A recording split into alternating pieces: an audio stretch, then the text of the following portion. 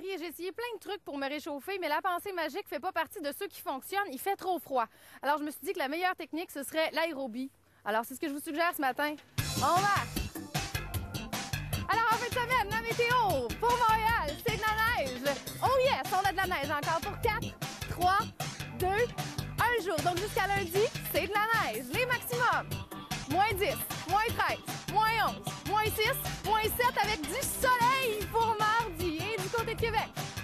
Ah ben là, il fait beau toute la fin de semaine. On ouvre les bras. Du soleil à partir de demain. Et aujourd'hui, on a un petit peu de neige. Pousse, pousse, pousse. Alors, c'est du soleil samedi.